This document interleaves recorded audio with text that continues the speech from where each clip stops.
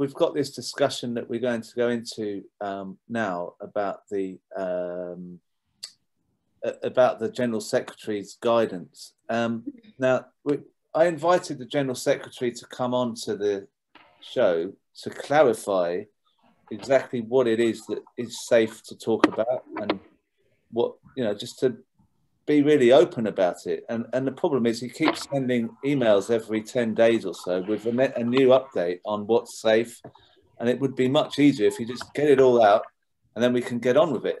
Um, but i've got a kind of a, a, standard i'm afraid he's he's um, otherwise occupied um, on sunday morning from half 10 to half 11 he's probably having a good breakfast but um, what what i what I wanted to read out was actually the, the letter that he sent, um, the last one, uh, in which he says, um, I can understand, this is, this is uh, the uh, second paragraph, it was sent to all officers in the party. I can understand the desire of people to discuss contentious and controversial issues that they feel deeply about, but to be clear, the Labour Party was found guilty of breaking the law on anti Semitism, we are now trusted to run our own affairs until we satisfy the EHRC that we have fully addressed the issues that meant our party is not a safe space for Jewish members. Just as we should not, we should have zero tolerance for all forms of racism, homophobia, sexual harassment, and other prejudicial behaviour. Our responsibility to double down on anything that may cause members to continue to feel unwelcome and unsafe must take precedent precedence over our rights at this time. I um, I was really flabbergasted that he could talk about how something could take precedence over our rights, that he can make that point, um, especially when he'd mentioned the EHRC part of that. So I wrote an email to the EHRC to ask them if they thought this was an appropriate response to their report. Um, but I got a similar kind of email back saying, um, uh, we will let you know what happens with the report. And it, it was a standard response. It was a, it was triggered by some, I don't know what it was. But anyway, the General Secretary has not come on this show. Um, we don't really know where we are. We're being asked to double, you know, to, to, to not speak up for our rights at meetings. Um, Momentum's put forward an idea that we elect a general secretary um, next time. Um, is that something that that you that you agree with, Shrinali? So we at our most recent NCG meeting, that's like the national coordinating group where we all get together. So that's um, uh, 20 uh, regional reps plus all of our affiliates um, who range from like CLPD to uh, the FBU to so um, a lot of uh, other movements on the left. Um, we had a full discussion about a proposal to support the election of the GS in principle. Um, and that had overwhelming support. Um, I think it's um, I think it's a I think it's a discussion that long needs to be you know that's long overdue within our movement. I think it's really vital that this starts a movement-wide discussion about internal democracy, because I think you're right. I think you're right, Crispin, and I do. I really do appreciate you like inviting David Evans onto the show and for chasing that up. I think that's really, you know, we need you know, how, how can we hold the General Secretary to account? That is the key fundamental issue here.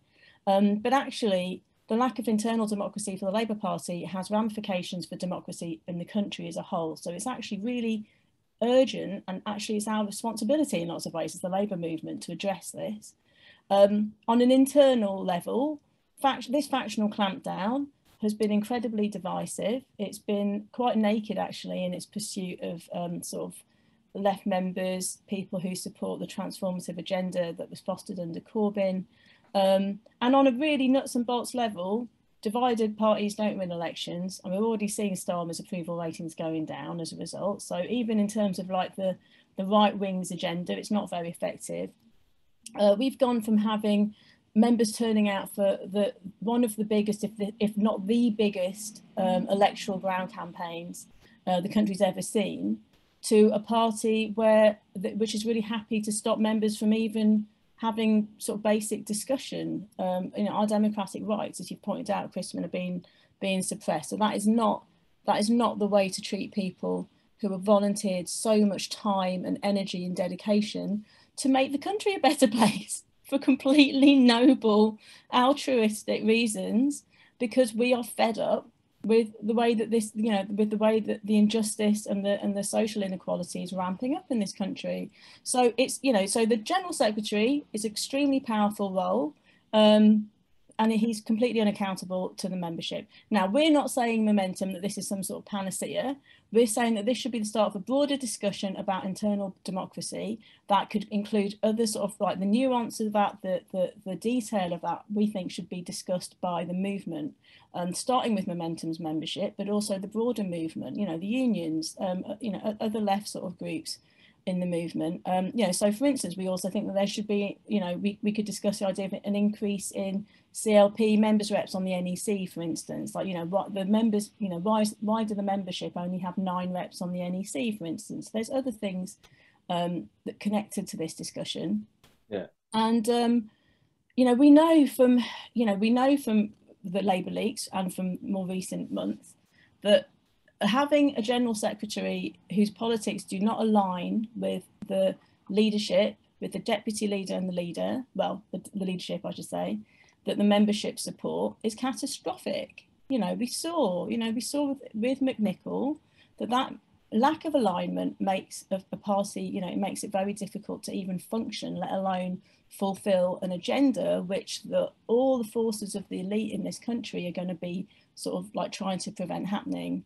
Um, so I would say, I feel really strongly that when you put together the allegations in the Labour leaks, the suppression of discussion about the Labour leaks, members' suspensions, including many Jewish socialists being suspended just in the past few days, prominent Jewish socialists being suspended, a clampdown on members' speech, rowing back on policy positions decided democratically at conference, um, that, that all builds up not to a worrying indication that internal democracy is being suppressed, but actually suggests to me that democracy in this country is being undermined by a faction within the Labour Party. If we're not allowed to have a socialist leader, if we're not allowed to, to pursue a transformative agenda, even if the majority of us support that and support it to the point where we're willing to go out in the absolute, you know, pissing rain every day and try and campaign for it, then we do not live in a functioning democracy. So this needs to be the beginning of that wider discussion.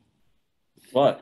Well, thank you for coming on and doing the newspapers and talking about that issue. Um, and I'll, I'll, just I'm going to move on to another John. I'll get I'm going to come back to to our uh, John Dunn uh, in a bit, but I thought I'd speak to um, John Rogers in Brighton. Um, are you there, John? Yes. Hello, Crispin. Now, John, oh, you've had your haircut since I last spoke to you. Uh, I have, yes. Yeah, I, am noticing this. Um, what, what, um, what I, what I noticed, we, we spoke last time on here about his earlier email. So I just wanted to catch up with you. How do you feel about his latest one? Well, um, it got me reading the rule book, and um, I think it's really. I think what we need is a reformation in our attitude to the Labour Party rule book because the rule book does not say what your regional official says that it says. It does not say what your regional director says that it says. It does not say what the general secretary says that it says. It says what it actually says. Um, and if you look at the power that he says he's using, um, he's quite right that the NEC can delegate to him any of the NEC's powers. But there's a clause, it's on um, people have their rule books to hand, um, and you know you really should. It's on page seven in chapter one. I think it's clause eight, um, part. Hang on, bear with me. I think it's three E, but it's on page seven. There's a clause about ensuring that party meetings and events should be conducted in a friendly and orderly manner to maximise participation. Blah blah blah. No discrimination. And it says the NEC shall from time to time issue guidance and instructions on the conduct of meetings. So you see, the rule book says guidance and instructions. It uses those two different words. Now, if you get issued with an instruction, that is something you have to do. If you don't follow an instruction, that's clearly naughty. But if you're given guidance, that's something that, as a chair of a PLP, I should take into account in making any rulings that I make. and I will take it into account to the extent that it ever makes any sense, which up to now it hasn't made an awful lot of sense. Because, the, like we talked about last time, his guidance suggested we couldn't debate any motions of solidarity with anyone. Well, that's just nonsensical. So I'm not taking that in that. If, if that's what he means, I'm not doing it because that's what he said. Um, but I think CLPs need to just stand up for our right to interpret our own rule book. Um, and, and, that's why I refer to it as a reformation. You see, I think we, we want to, he, he, issues these papal bulls, uh, if you like, from on high, telling us what we can do. Well, no, we can we can relate directly to the received word of the rule book, and um, and and use that and and stand on that. Um, and that's what that's what we should be doing. Um, certainly, what we're doing in Brighton Pavilion, and what we've experienced as a result is what you might call administrative sabotage, because our secretaries had their access to various computer systems removed, which is dramatic inconvenience. I don't know how many other people have have experienced something like that. We've not yet experienced anyone being suspended over this. And I've replied to uh, the General Secretary again, and I'll, I'll pop the link in the chat when I finish nattering um, so people can see what I said. But uh, I don't know why we haven't had the more draconian action taken against us that others have. I'd hypothesised it's because we don't have a Labour MP. We're not a target seat to win, I'm afraid, in Brighton Pavilion um, and uh, and that may be why we're not on their radar for that sort of action. But I think the most important thing, the point I really want to make, is the rule book says what it says, and if and he doesn't quote it in detail, so we can. It won't prevent people being suspended or disciplined just because the rule book says that what we're doing isn't wrong. But I think it's a, a good basis on which to fight on the question of the election of the General Secretary, the rule book actually does say the General Secretary should be elected. There's, there's, there's a section of the rule book headed election of the General Secretary. It's just that at the moment, the rule book says the General Secretary is elected by conference on the recommendation of the NEC. So, I mean, I think it's a good debate to open up. Should there be a wider participation in the election of the General Secretary? Should it be by the Electoral College that elects the leader, for example? Yeah or not. But also, we need to be prepared for the fact that what, this general secretary has never been elected to his post, and there will be a party conference at which he has to be elected. And our delegates from our CLPs, those that haven't been suspended, will have to vote either for or against confirming him in his position. Right. And as part of the campaign around how should the general secretary be elected in future, there's a debate to be had about do we confirm this general secretary in post. Right, so he hasn't been confirmed yet because we haven't had a conference. So no. yeah. Oh, well, it, would that be Brighton, wouldn't it? Next one. Uh, I would hope so because it's easily the best place to have a conference. All right, Thank, thanks, John. I'm going to move uh, move on to Jill in Scarborough. Um, are you there, Jill? Oh yeah, can you hear me? See you. Um, now you you've been given that guidance by um, the general secretary, but it seems that you actually passed a, a, motion asking for the whip to be restored to Jeremy Corbyn. Is that is that right? That's right. Yeah, yeah. So can, can you tell tell us what when that was and what the response was of the CLP, and have you had um, any feedback? Well, we've had. I mean, you're very fortunate if you actually had anything, even if it's just a sort of out of office reply from anyone, because we haven't had the courtesy of that from any of the people we've written to. And I think that is that is actually an issue, isn't it? Because apart from gross discourtesy, it's it's uh, you know just a horrible thing to do to members when you know we've got a lot of trouble to communicate. We don't get any response whatsoever. So to me, that's that's a thing, you know. Um, we had a meeting on Friday evening, um, and I put a little note on Twitter yesterday, and it went kind of wild. Um, and it was it, again, it was a very polite resolution, and it was only it doesn't mention the PLP except to ask that Jeremy Corbyn be reinstated to, to the to the Parliamentary Labour Party. Um, so it doesn't mention any of the things we're not supposed to talk about, and we couldn't see any problem with it. But we had um, we had an email from regional office last Monday um, from our usual contact, who was actually a very junior member of the staff at the regional office, telling us that um, I won't read it out to you, but I haven't got it to hand. But it just basically said this was not competent business, which seems to be the phrase of the moment, doesn't it? Um, but they didn't give any explanation or any quote any rules out of the rule book.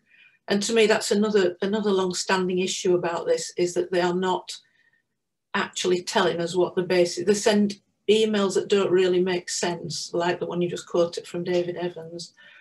Um, and we're not told that the, the basis of the decision really, apart from because I say so, because I can.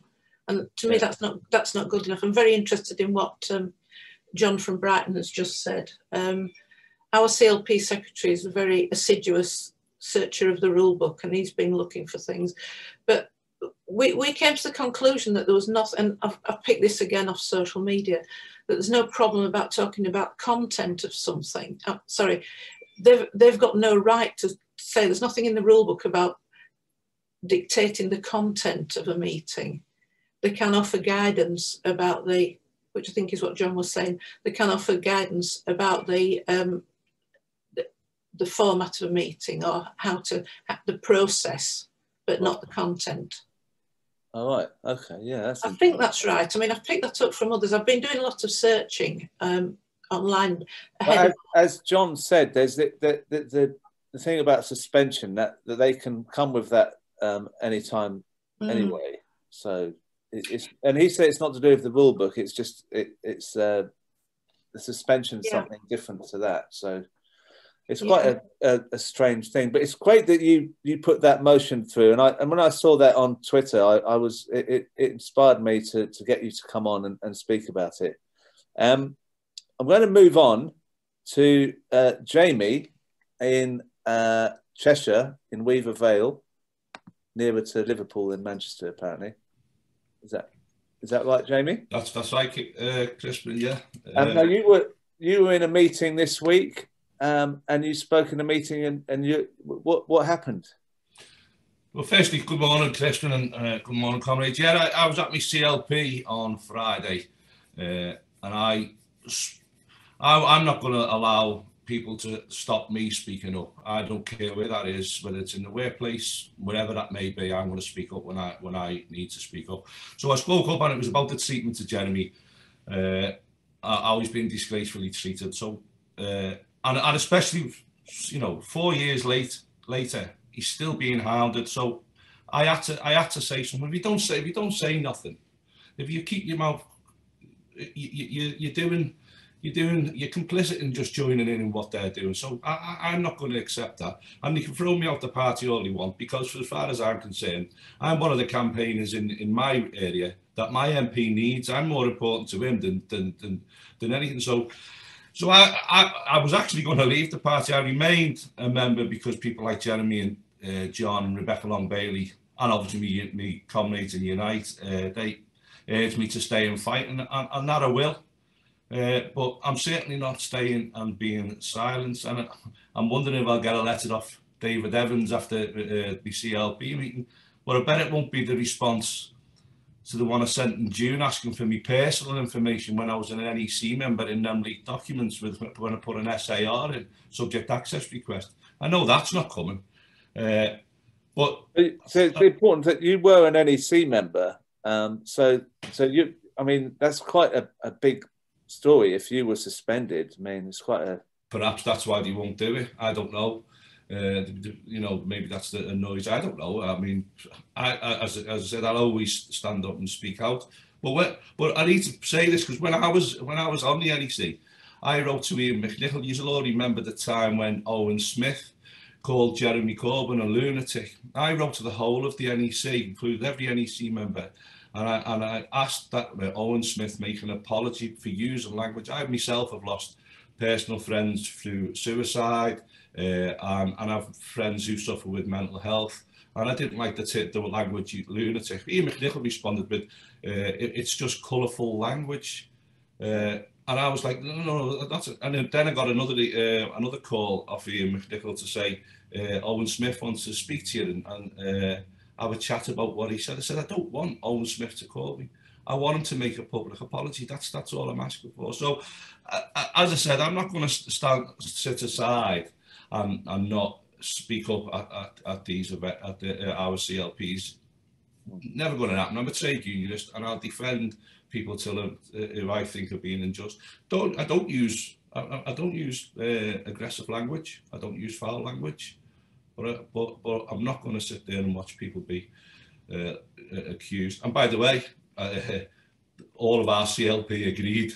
So uh, it shows where, where people are at this time. I mean, that, that is a problem, isn't it? That, that there's lots of members who don't want to be silenced and want to speak, um, but they put this thing in to stop chairs and secretaries. So people who are volunteers for that CLP are put under pressure from the top not to allow discussion. And then pe- members say, "Can we just talk about this?" And they say, "No, it's it's putting them in an impossible situation. I mean, it's it's, it's ridiculous." Um, I'm gonna I'm gonna move on, Jamie, to someone who's actually been suspended um, for um, some of the things that they've written. I think uh, or, or, said. I, don't want to I don't want to um, get them into any trouble by speaking too much about it. But uh, we're going back to we're going back to John Dunn again here, who's who obviously has done the newspapers here. But I saw John that you've been suspended this week. Um, can you tell us how you feel about that? Uh, well, I'm, it's not upsetting me because life is carrying on as normal for me, but I'm angry because I was apparently suspended. We, had our constituency uh, party Zoom meeting, and mysteriously, in mid speech, my uh, Zoom wasn't switched off, where I was muted and blanked out, so I couldn't speak. And when I protested, uh, I was and I was then accused of bullying and thrown out of the meeting. So I made a complaint about that to the NEC, and then I got a suspension letter back with 22 points that I've got. Uh, they said within a week of the within seven days of the date of this email, but they sent that email to me at 19 minutes to 11 at night. So it really six days to answer 22 points. And then I've since had another 12 points added because, you know, I can't talk about it. Only apparently talk about it to the Samaritans. Uh, and I'm on speed dial with them, the number of uh, references I've been, time I've been referred to them.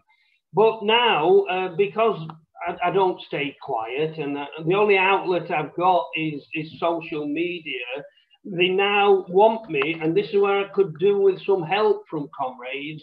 I use when somebody sent me a message of solidarity, I said it'll take more than a few jumped up human turds to frighten me. And now they want to know who I meant by human turds, but they've not put any upper limit on it. So uh, you know, I, I'm, I'm stuck and I'm appealing for help on this. Do I include the 172 coup members of the PLP? Do I include the people who sabotage the election?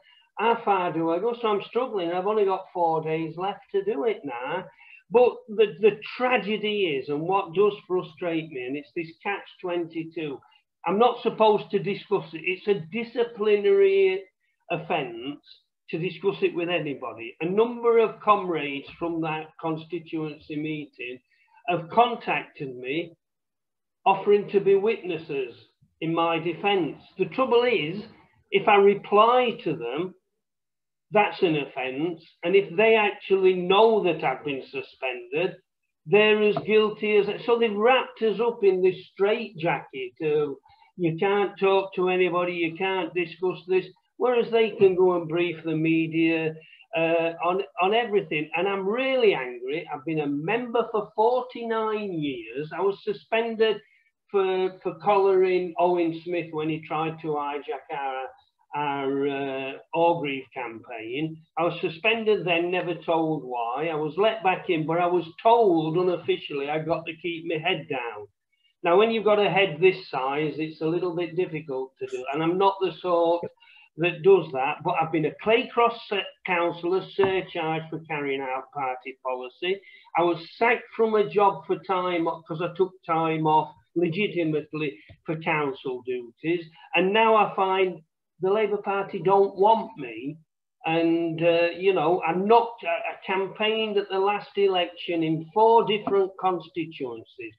I, I, I, trundled on election day through all that pouring rain in northeast Derbyshire for the excellent Chris Peace, and now I'm not wanted. Uh, and I'm supposed to be not wanted quietly. Well, anybody who knows me knows, you know, I don't do things quietly. So I'm fighting back.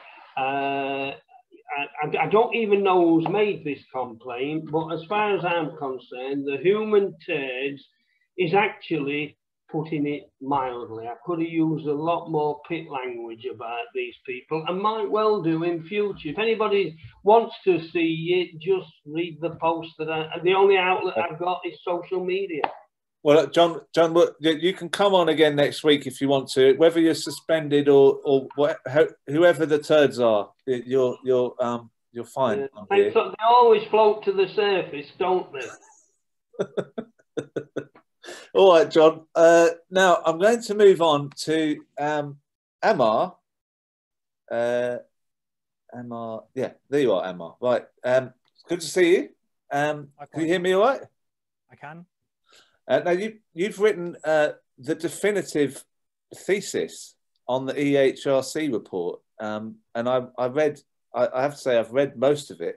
Um, I can't say I've read every single word, um, but I, I, I, was really impressed by the thoroughness of your research um, and your unpicking every every bit of it. Um, now, what I wrote to the EHRC was this this email asking them um, if they were happy with their report being used um, in this email by the General Secretary to um, stop uh, to take precedence over our rights at this time, that, that we should not speak about things uh, because of what's happened with the EHRC report effectively. What, is, is there any basis in the EHRC report that we have to all be silent about everything? Well, uh, just before I begin, I'd just like to do a very quick disclaimer that what I'm going to say is not uh, legal advice. It's just my personal perspective, having thoroughly considered the report, as you have said, and I've gone into some of these issues um, in the in the article itself. But the issue is really, I mean, it depends how you look at the report. I mean, I'd say from the outset that there's there is a general problem of interpreting the EHRC report literally. If it were to be interpreted literally, then you know Jeremy Corbyn would never have been suspended because his comments were explicitly permitted by the EHRC report about the scale of anti Semitism uh, in the party. He wouldn't have also been suspended by David Evans.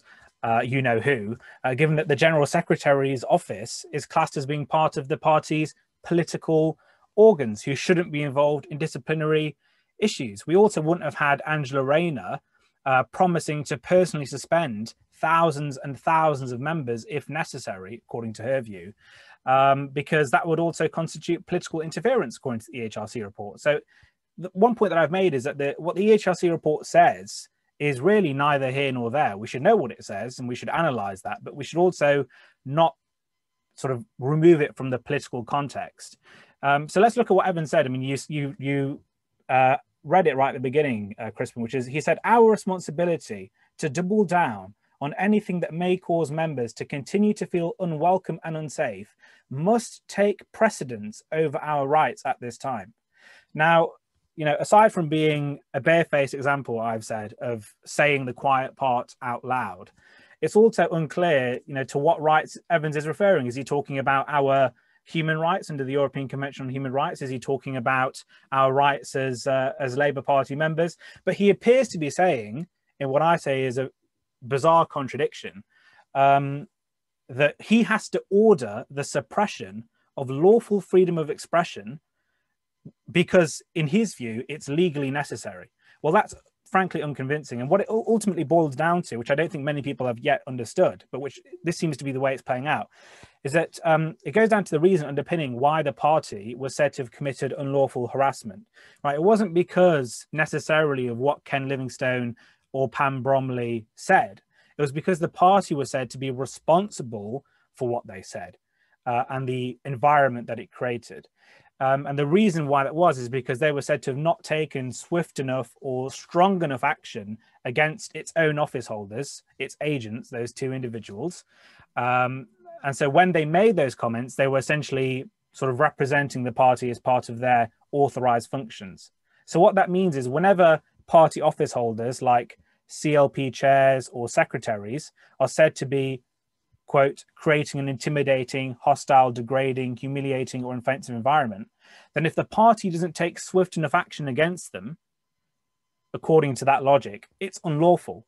That's why we've seen CLP chairs across the country and secretaries like Louise Regan in Nottingham East. We saw Naomi Wimborne Idrissi, who herself is Jewish, being uh, swiftly suspended. That's from what it seems, um, is the party essentially doing that? So they can essentially say they haven't committed unlawful harassment because those people who've done that those actions who've created that environment in their clps they aren't doing that as part of their authorized function. Now in my view that's a very cynical way to say it lightly of um, interpreting what the report says. Actually i would also i'd go further than that. I would say it's a very malicious way of interpreting what the report um, has says so what David Evans is doing, he is he is taking what seems to be very heavy-handed, preemptive action, right, to prevent people feeling, in his view, unwelcome and unsafe, which you know in itself is not what the report is talking about. It talks about creating an intimidating hostile degrading humiliating or offensive environment. Those are the words in the uh, those are the stat that's the statutory defini- definition of harassment. Those are very very strong words right? You can't just say, well, because a meeting was slightly, you know, um, controversial and heated and the, the debate got a bit heavy that it creates that environment. No, all those words are very, very strong. They're not synonyms, they have individual meanings. So to claim that he's taking that action in order to prevent that sort of environment being created is completely, in my view, disingenuous. Um, so yeah, I mean, it's just completely absurd. I don't think he's basing it at all really on what the EHRC report is saying. He's he's taking what the EHRC report has said, and then he's just running with it. You know, he's he's, he's had an inch, he's taking a mile, um, and yeah, there doesn't seem to be any lawful reason for why he's doing that. It just and seems what, to be he's using the report maliciously.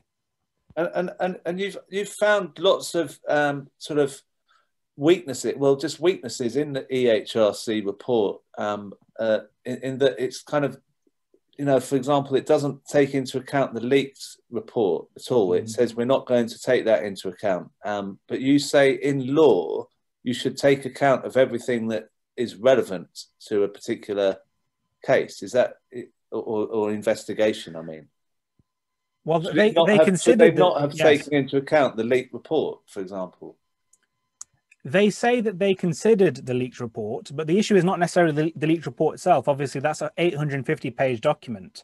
But within the leaked report, it only has extracts of all of those emails and WhatsApp messages. There's thousands of emails, WhatsApp messages. That's all of the underlying evidence of the leaked report, which they've never taken into account. And of course, it's not in the public domain because that didn't get leaked. Only the leaked report itself got leaked, but not the sort of additional masses of information.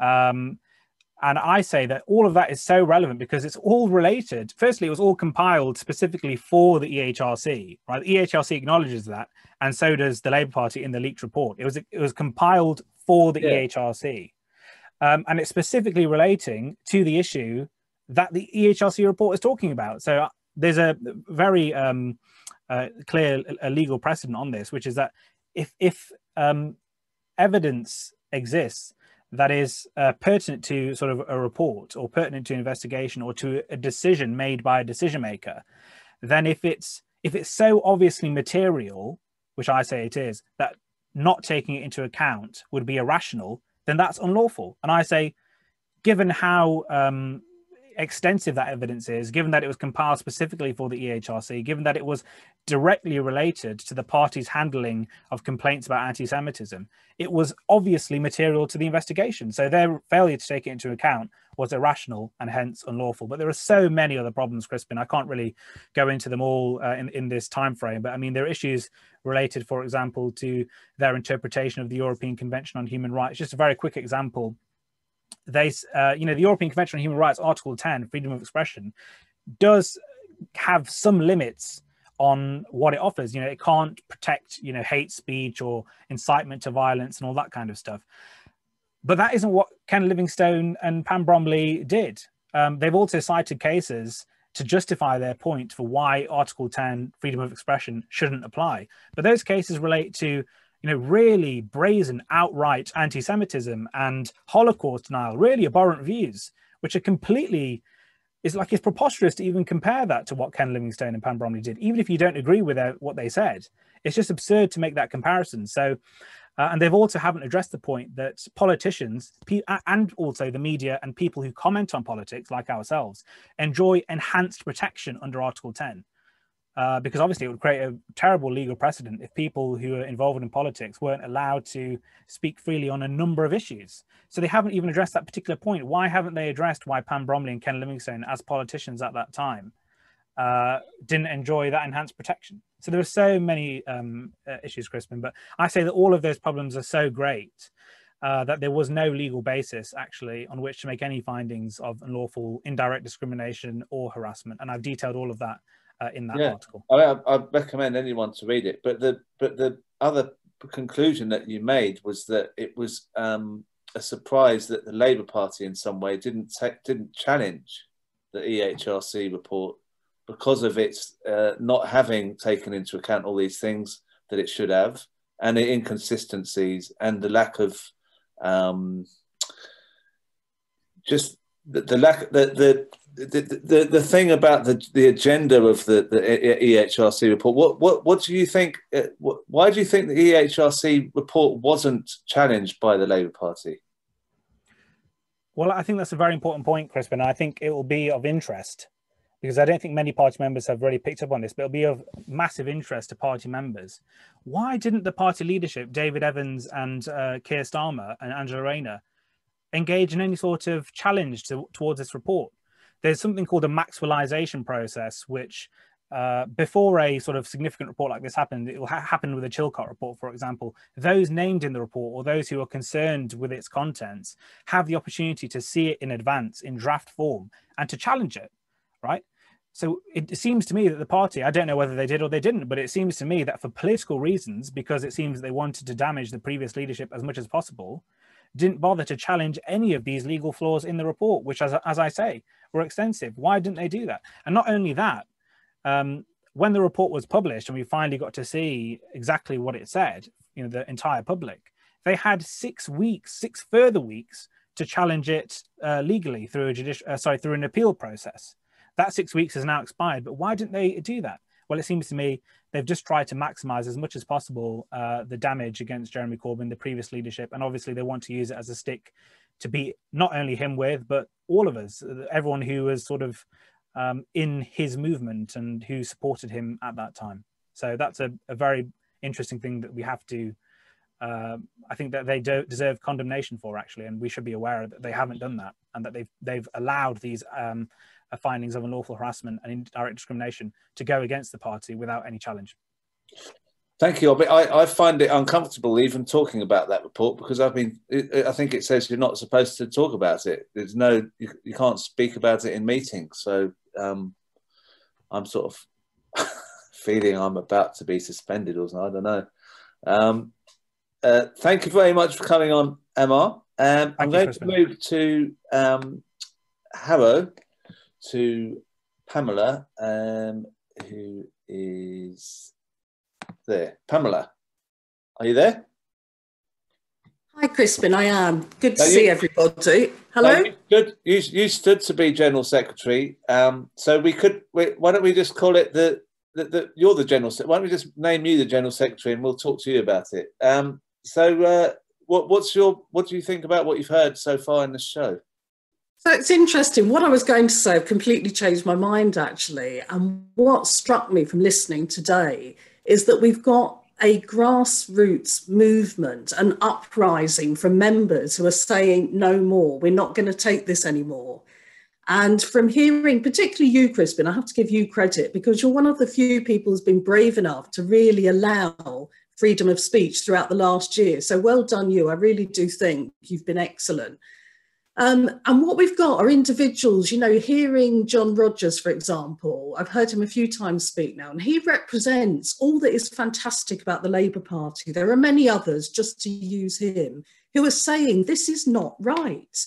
And the problem we've had, I think, over the last year, and by the way, the revelations in the Labour leaked report were not revelations, they were confirmation of what we knew was going on. It wasn't a surprise to me when I read that report because I have lived that experience for the last five years. Prior to Jeremy Corbyn, I was viewed in Harrow as a kind of rather eccentric socialist. You know, there weren't many of us about, and I was tolerated. I was a middle aged mum who worked for a charity after Jeremy, when we started mobilizing people, when we saw how popular Jeremy and the policies were, I became a dangerous person that had to be suspended in 2016, not over anti Semitism, but just fabricated things from some of my fellow Labour members.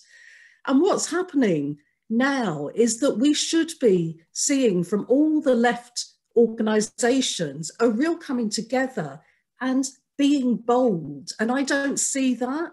So when I stood, when I applied to be the General Secretary, I had no illusions that Keir Starmer would appoint me as the General Secretary.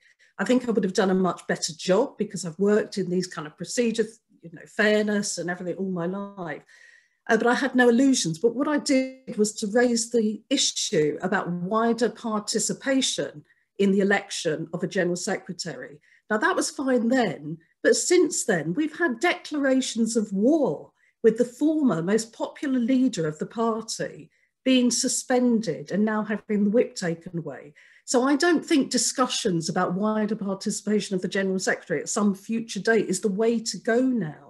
And if you think about all the brave people, those people going to court, of whom we're going to hear soon, and I know how stressful that is going through a court procedure and how potentially expensive it can be. These are brave individuals. Crispin is brave. As he said, he's worried about what people are going to say on the show.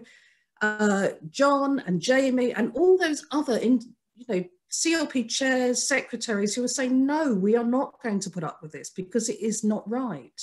And as Amir has said, you know, fantastic that he spent all this time, his own time, analysing the report at risk to him, presumably, because he could be suspended for speaking out. Um, all these people are doing individually, and it's not good enough. We need some support. We need to know that when members are going to be targeted, they are going to be supported in challenging, and whether that's through the unions or through the left organisations speaking out more strongly. You know, why is it that people have to have a vote or a, a petition to try to get momentum to uh, agree that there should be motions of no confidence in Starmer. That should be absolute when given what has happened. And as Amir said, the uh, freedom of speech is a fundamental aspect of UK law, absolutely. It can be curtailed, it can be, but only where that's prescribed by law. By so for things like um, hate speech, for example, and it is by law, it is not by the Labour Party.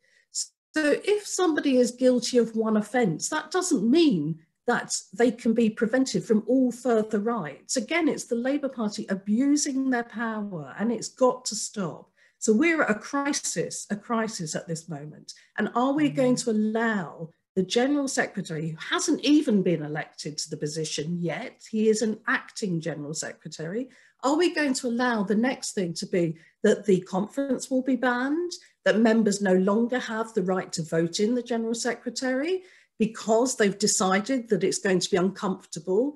And who exactly is being made uncomfortable at our CLP meetings? Because I can tell you, I've had so many Jewish members say to me they are now so worried because they're on the left of the party that they are going to be suspended. They feel frightened, they feel worried to speak out. And then I'll just finish by saying, well, this worry about how people feel in CLP meetings and others is not extended to all members. I've been aware of really horrendous transphobic comments by somebody quite senior with holding positions of authority in the, in the party. I've reported that nothing has been done I've also, for years, myself experienced it, but witnessed other women suffering harassment, and that's been reported again and again and again. Nothing has happened. So, is this really about how members feel going to CLP meetings, or is it about an abuse of power to stop your critics from speaking out? And it's quite clearly an abuse of power to stop your critics challenging you. And this has no place in the Labour Party. So for me, the people who are bringing the party into disrepute are the people who are trying to erode the basic principles of the Labour Party and freedom of speech. So please, we need the left groups step up and follow what the members are doing, support us in those really difficult things that we're doing to speak out and challenge what's going on. You know, I spend every day looking in my inbox now for the for the email that's coming, and I'm sure we're all doing that. And it's not right, and we've got to speak out. So well done to you, Crispin, and all the other individuals here that do that on a daily basis and challenge things. Thank you, Pamela. I, I think we should collaborate more. There's got to be more collaboration. There's too many different groups on the left or whatever saying they're, they're fighting this. And, you know, if we all work together, we do much better, I, I think. Um, I want to speak now on an upbeat note um, to end the discussion. A very upbeat note indeed. not for not for David Evans though. Um, this is uh, I'm going to speak to Angie, who is uh, part who's who's part of one of seven people. Is that right, Angie? Who are um, taking the Labour Party to court. Uh, do you want to tell us more, Angie? Because I'm going to say the wrong thing and get myself in trouble. yes, you have to be very careful what you say these days. Um, so I just want to introduce myself. I'm the treasurer of Jewish Voice for Labour, uh, and I'm also from Nottingham East CLP. So I'd like to have a shout out to our suspended chair, uh, Louise Regan, as uh, who was on last week, and also Naomi Wimborne Idrissi, and to all those who've been wrongfully uh, suspended or um, disciplined uh, by the Labour Party. So somebody's mentioned earlier, how do we hold these people to account?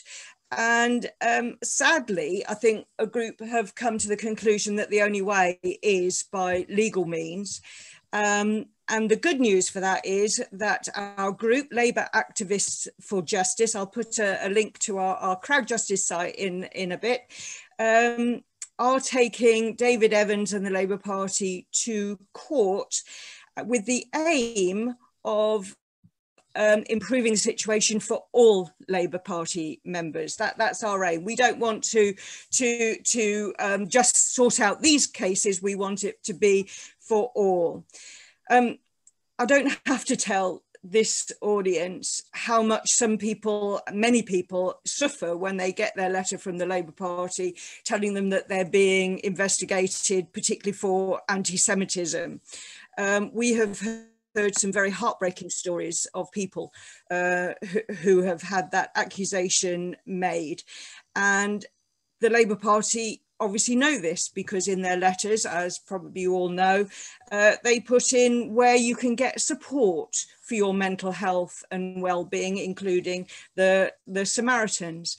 And as um, other people have mentioned, John Dunn mentioned earlier, um, the aspect of confidentiality. You're not allowed to share um, what, what said, you can only go to the Samaritans um, and your GP, apparently. Uh, you can't share that information. So we're a group of, I, am not part of the group, I'm from JVL who is supporting the group, but Labour Activists for Justice are a group of seven Labour Party activists it's taken us six months and many, many lawyers' letters to the Labour Party uh, to get us to this point of filing for the High Court, um, which has been ample time for the Labour Party to have responded. Very recently, as, as we know, and as we heard from Amar just now, um, the EHRC report, which we can, I think, agree um, is a flawed report, but we can agree that, one of the things that the EHRC pointed out was that the disciplinary processes of the Labour Party are not fit for purpose. And as we know, Starmer and Evans have come out very, very publicly and have said they would implement all its recommendations. And they've said that it will be fully implemented for all Jewish members. That's including those of us and some and lots of Jewish members who have been um, suspended for alleged anti-Semitism or related offences. So you would think that they would take the very first opportunity to set things right, having had our lawyers' letters.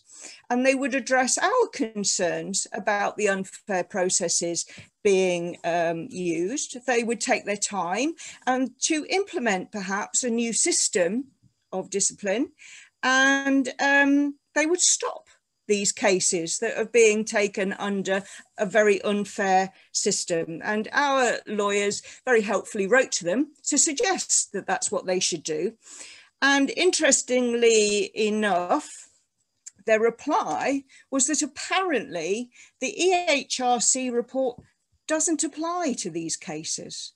I mean, that's a very strange thing for them to say. And it's astonishing because you think, well, if it doesn't apply to these cases, who does it actually apply right. to um, to get fair uh, processes.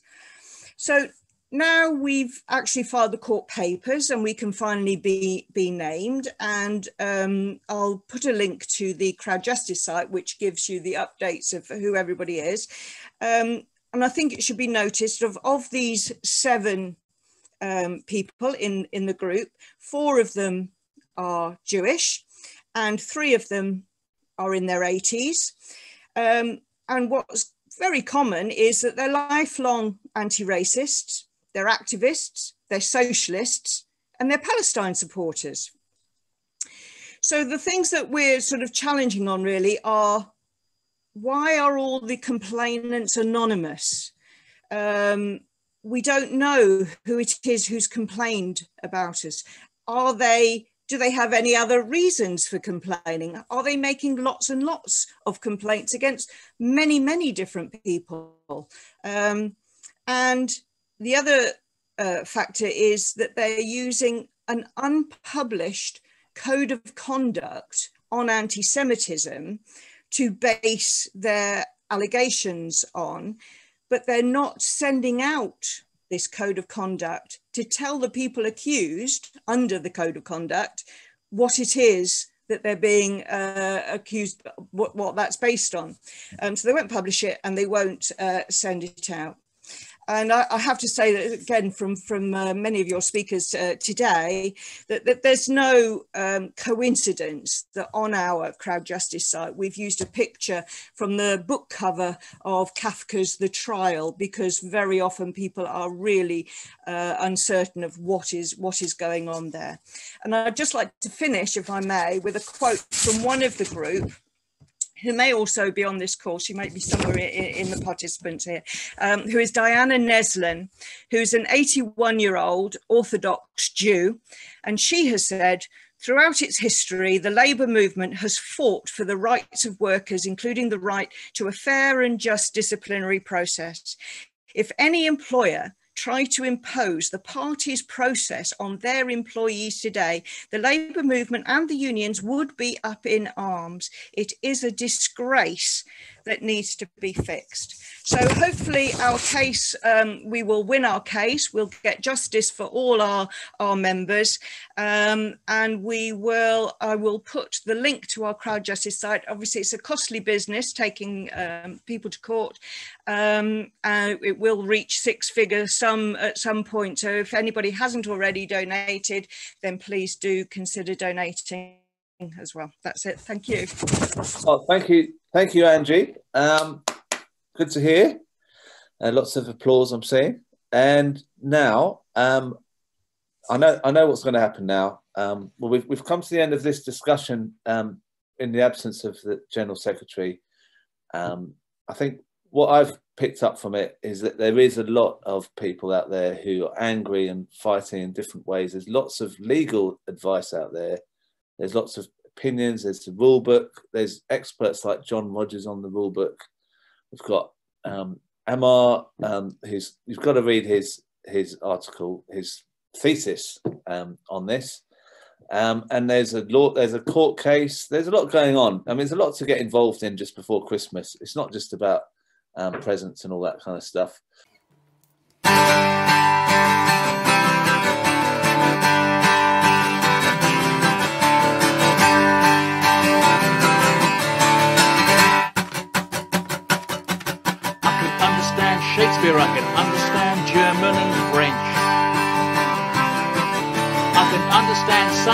A hammer, some things need a monkey wrench. I can understand you mean it's cool when you say it's sick. But I can't understand. No, I can't understand. No, I can't understand why anyone in charge is a dick. No, I can't understand.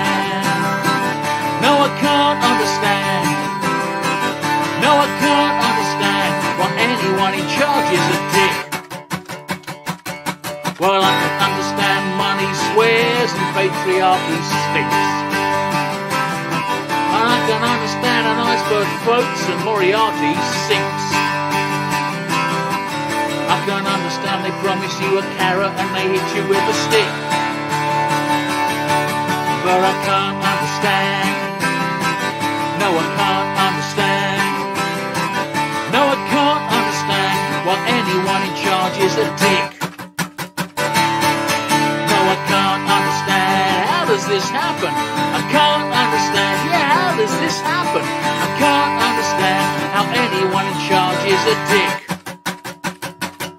Well, I can understand nuance, de Beauvoir and Camus. I can understand irony and recognize bullshit too. Like, we're gonna send the gunboats in to protect our fish. Oh, I can't understand. No, I can't understand. No, I can't understand how anyone in charge is a dick. All together? No, I can't understand. No, I can't understand. No, I can't understand why anyone in charge is a dick. No, I can't understand why in is a dick. How's that happen?